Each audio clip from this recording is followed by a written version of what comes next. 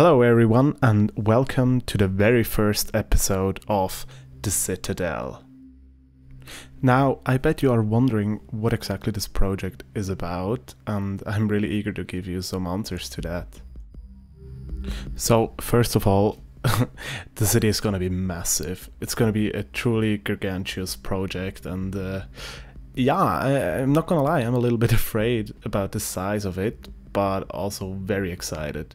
The city is going to be a mix between cyberpunk, Blade Runner, Altered Carbon, but you will also see that it has been influenced stro strongly by Flux Trance's Avalon series and definitely um, City Walk, City Walls, very recent and awesome Mars series. And this city basically picks up on the idea of a very brutalist, futuristic, money driven city that exploits the poor for their work labor while exposing the middle class to tons and tons of advertisements to try to suck out every little penny they earned working in the service sector. And in the meantime, we obviously have the, the upper class the, that is wallowing in money, defending their power and suppressing the lower class. So basically like it is today on our planet. The big difference, however, is that we are not in our solar system anymore. We are in the TRAPPIST solar system. More precisely, uh, we are on TRAPPIST 1e, which is located about 40 light years away from our planet, um, which is considered quite close in astronomical terms. But uh, please take this and the following scientific facts with uh, a grain of salt, because I'm I'm not an astrophysicist and I'm just working together with some very intelligent people over on my Discord server. And another thing is that very little is known about the TRAPPIST solar system or TRAPPIST 1e itself, so it's gonna involve a lot of speculation and just uh, some assumptions to produce this City Skyline series. I mean, in the end, it's, it's still a, a let's play for, for a video game and not a science channel.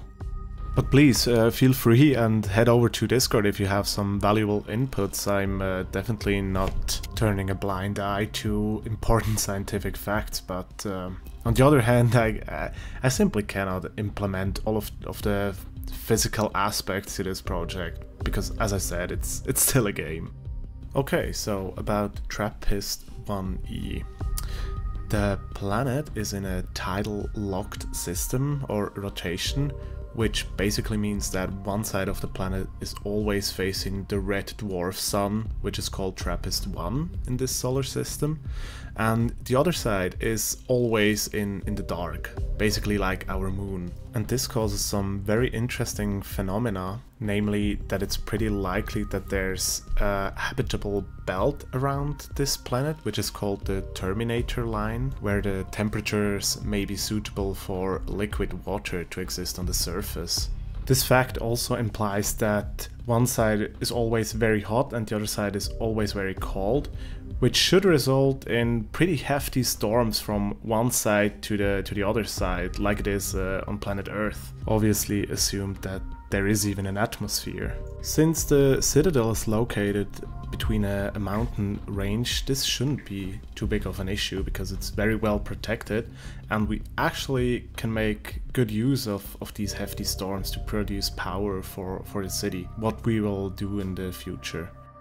So the last aspect I want to mention is something a member of my Discord pointed out, namely that the whole solar system is teensy tiny small, which means that being on TRAPPIST-1 also means being very well into the gravity of, of the red dwarf star. And this means it's very difficult to get off and on this planet. But considering the story is set something like 2 to 500 years after the first Mars colonies have been established, we're just gonna assume that the space industry made some giant leaps regarding ion engines and fusion power. But don't worry, the story is still in development over on Discord and uh, we are working on a cohesive backstory. Okay, so now on the screen is the empty Citadel map I specifically made for this project.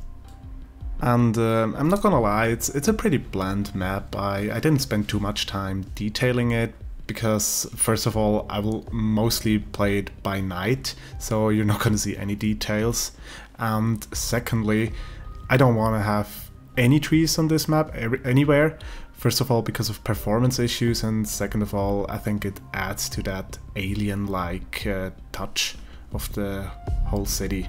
There are still some interesting features like the mountain ridge uh, I mentioned before. Um, this one will provide some hydroelectric power from a crazy lake in, in, in the back there. And we also have two kind of islands uh, on the horizon where two massive bridges lead into the city. I'm gonna detail them very well and it's gonna look insane with the skyline in the back and these massive bridges in the front that lead all kind of traffic into the city. I also put together a custom theme with a Theme Mixer 2 mod and you will be able to download that one from the workshop if you want to play on this map with uh, similar color and theme settings. As you noticed, the the light settings are very dim in on this map and the sun color is set to a kind of reddish color. Reason for that being the red dwarf star of the solar system provides only very dim light, so I guess this could be accurate, but um, please correct me if I'm wrong.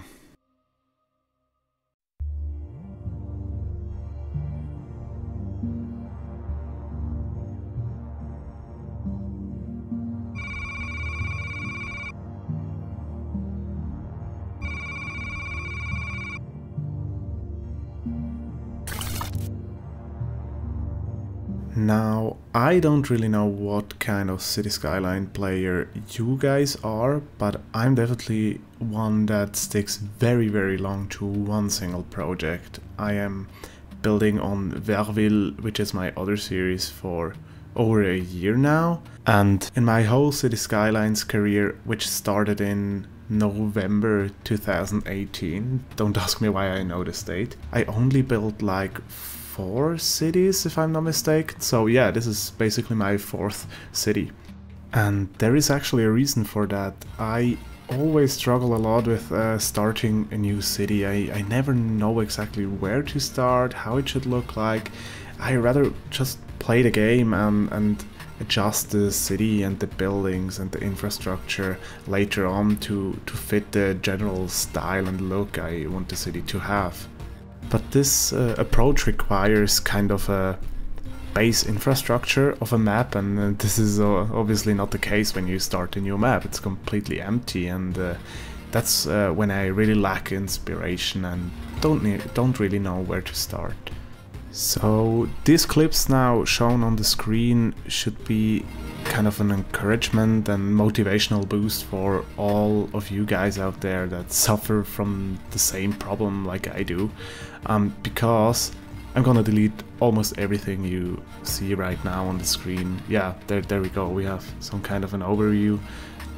And I completely deleted everything and started all over again for the third time already. But don't worry, this is actually not too bad of a thing because the more you try, the better you get, and obviously I'm way more pleased with the latest attempt.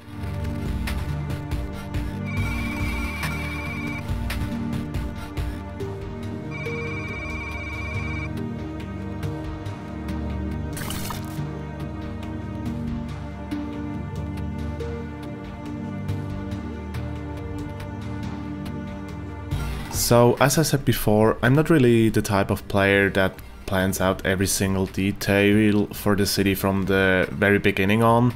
I rather go with the flow somehow and that's what I did here. I just started off with some basic road infrastructure. I built some kind of a ring road around the the inner core of the city, which you already see is quite big.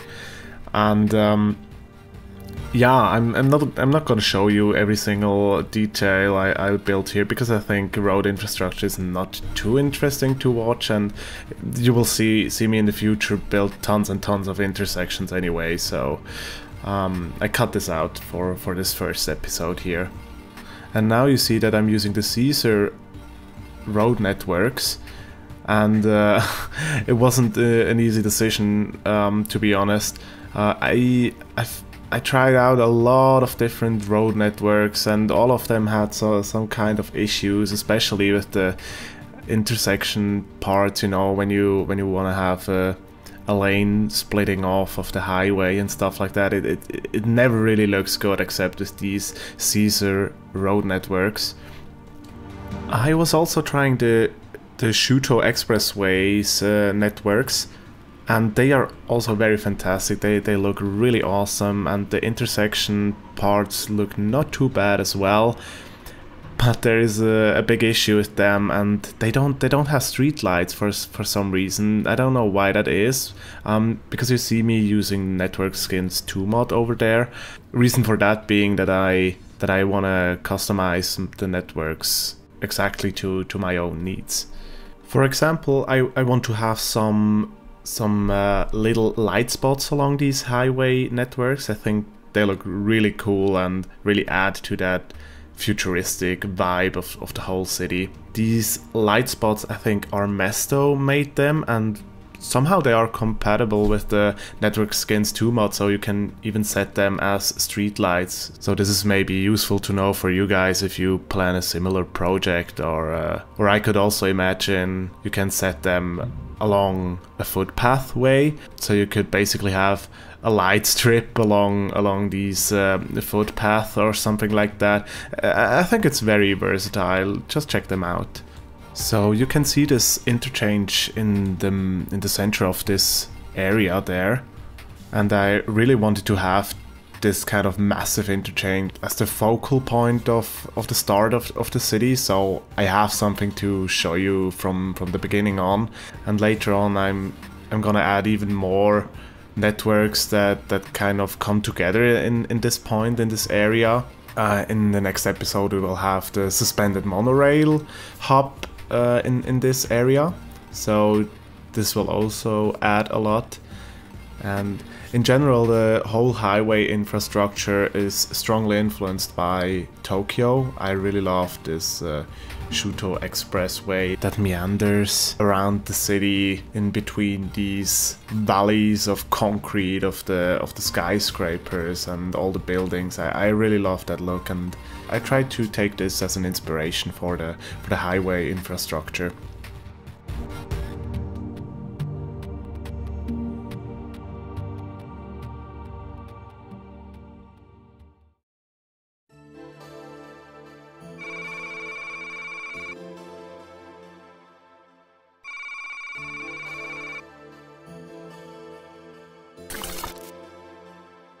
I have to admit that this episode is kind of fragmented. Um, I'm sorry about that, but uh, please bear with me. It's only my second series I ever started on YouTube and actually my first voiceover ever. But uh, anyway, the footage is gonna make uh, much more sense in the future. I, I will pay a lot more attention to have these kind of finished projects I can do from episode to episode. But uh, for today we are just working on this random area in the middle of downtown, I guess, because the general plan was to was to finish up this area to to have this uh, awesome intro flyover you saw in the beginning of, of the video. I hope you're not too confused about uh, all these buildings just popping out, out of nowhere. It's not like these gonna stay exactly in, in that position. I will move them around a ton. Like I mentioned at the beginning, I always improve and rearrange stuff and I, ju I just needed this kind of big city look right from the beginning on to first of all get your viewer attention and uh, have something to show. I guess you understand that. And obviously also for the for the intro part as mentioned before. So while I'm working on this sunken parking here with the glass cover, I want to briefly talk about an upload schedule of mine or the lack of one. It's always a bit difficult with us YouTubers, you know, just a very few of us can do this full time and so uh, for me it's still a hobby and I can only spend so much time on doing this on, on, on YouTube. I still got my studies to do, and I also have to keep my social life up and running. And I'm currently working on my bachelor thesis and all that stuff that's going on in the real life, you know. So please don't expect me to upload every single week or, or even every two weeks. I, I, I will try to upload at least once a month, but uh, you know how it is, uh, YouTubers and their promises regarding their upload schedule. And another thing I, I realized it that especially with these voiceovers, I really have to do them when I totally feel like doing it, uh, as it should be with a hobby, because then it turns out much better than when I'm forcing myself to to push out an episode. But I mean, I really lo love the thing I, I do here, and uh, I don't think it's gonna change in the future, so don't worry about uh, the, the series gonna be cancelled or, or stuff like that. It's just gonna be a long-term project. I, I could see see myself doing this also in a, in a couple of years, so I think the series is gonna go on for quite some time. Okay, that's uh, almost everything I got for you today. And again, I, I know this episode ha has been a little bit all over the place, but uh, it, it's quite a steep learning curve, I guess. And uh, videos, video quality will, will improve in the future, that's for sure. Especially when you leave your feedback in, in the comments below. I, I'm gonna read all of them and try to implement all your feedback. I think I'm just gonna wrap up things here. Um, yeah, thank you very much for watching. Uh, please like and subscribe if you if you like the content. I always wanted to say that. And uh, really looking forward to see you in the next one. Enjoy the cinematics and goodbye.